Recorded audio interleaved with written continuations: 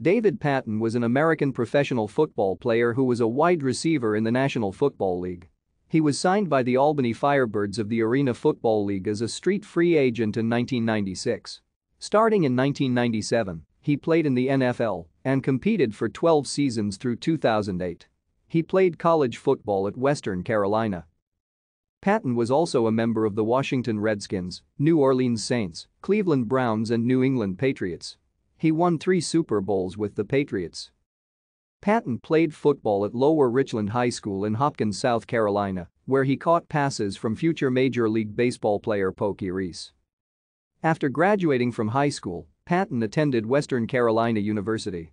As a junior in 1994, he averaged 3.6 catches, good for sixth in the Southern Conference. In 1995, his senior season, Patten recorded 59 catches for 881 yards and was named to the All-Southern Conference team. Patten went undrafted in the 1996 NFL Draft but began his professional football career by playing for the Arena Football League's Albany Firebirds in the summer of 1996. Thank you for watching. Like and subscribe if you would like to view more of our videos. Have a nice day.